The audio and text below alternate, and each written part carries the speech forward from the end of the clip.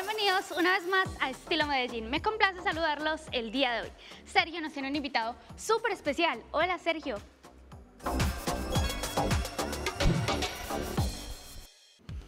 Hola María Camila y esta semana seguimos recorriendo esas tiendas que tienen mucho estilo aquí en la ciudad de Bogotá, en la capital. Y por eso hoy vamos a encontrarnos con Camilo, que Camilo nos va a contar un poco de qué se trata esta tienda. Es una tienda increíble en la mitad de la localidad de Chapinero que es un espectáculo. Así que acompáñenme en este recorrido. Bienvenidos a la panadería rusa Industria Roboto, manufactura 100% colombiana, inspirada en la Segunda Guerra Mundial y Industria Roboto en una confección muy cyberpunk, muy street. Eh, manejamos piezas en drill, sintéticos, eh, rompevientos, cosas en cuero, arneses, eh, piezas como estas parcas en varios, varios tonos, varios colores. Tenemos este bolso, se llama Lady Armoroid. Es una maleta que puedes dividir en tres maletas.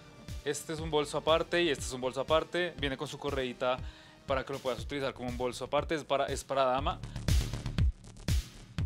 Tenemos tres tiendas eh, físicas, eh, dos en Bogotá y una en Medellín, donde contamos en todas las tres tiendas con un mini museo o una zona en la que tenemos eh, artículos originales de la Primera y Segunda Guerra Mundial. ya que la temática que manejamos, el fuerte de la tienda, es inspirada pues, en esa época.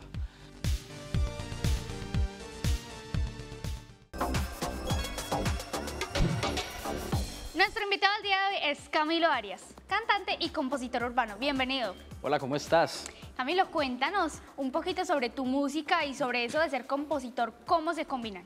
Bueno, eh, venimos trabajando fuertemente sobre un proyecto que se llama Reggaetón Limpio, ¿cierto? Ahí me lanzo yo, yo vengo del mundo del rap, me lanzo al reggaetón hace más o menos cuatro años con este proyecto de Reggaetón Limpio, precisamente con la idea de aportarle al género unas letras eh, fuera de la violencia de género, eh, que no sean misógenas y que también nos muestren esa calidad que podemos también entregar dentro de este género, también hasta los menores de edad que ya vemos que consumen mucho el género. Definitivamente es súper importante esto de respetar un poquito más las letras y que sea reggaetón limpio. Ahora cuéntanos, ¿cómo empezaste tú en el medio de la música y por qué? Bueno, realmente arranqué como bailarín de breakdance. A la edad más o menos de 12, 13 años empecé a rapear y hace más o menos cinco años comencé a cantar, a aplicar ya técnica vocal y bueno, a aprender bastante sobre eso porque es un mundo bastante complejo. El breakdance me llama muchísimo la atención, de pronto no se te dio como por, por aprender hip hop o otro tipo de, de baile. Eh, sí, realmente hacía breakdance, hacía, llegué a hacer hasta danza folclórica, hacía popping, breaky.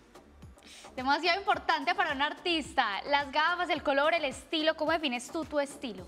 Bueno, realmente es un trabajo también que venimos haciendo de proyección artística al lado de Audiovisual Machines y Exstudio, unas compañías de acá del municipio de Medellín, y hacemos pues como, como un complemento artístico y una dirección muy clara en cuanto a la imagen, el propósito, lo que queremos ofrecer y también lo que queremos que la gente escuche sobre nosotros. ¿Qué proyectos tienes tú a nivel personal y a nivel profesional a largo y a corto plazo? Bueno, a nivel personal, ser un muy buen padre de familia ser, ser una, un buen ejemplo para ellos. A nivel artístico, a corto plazo vamos a lanzar ya el trabajo de reggaetón limpio como tal y ya un poquito más como a mediano plazo queremos llevarlo a nivel nacional y ojalá también sacarlo del país. Qué interesante. ¿Y tus hijos de pronto también se inclinan por la música o no? Sí, la verdad sí, los dos. Miguel Ángel, que es el niño el menor, es muy raperito y la niña es, digamos, como más pop, pero también le gusta mucho, le gusta mucho bailar también. Sí, la verdad sí veo que se fijan mucho. Muchísimas gracias. Definitivamente qué bonito que trabajen como eso en familia, porque aparte es un medio muy lindo y que se comparte mucho. Gracias por estar acá. Sigan conectados con toda la programación de Telemedellín. Aquí te ves y recuerden que la moda pasa, pero el estilo permanece.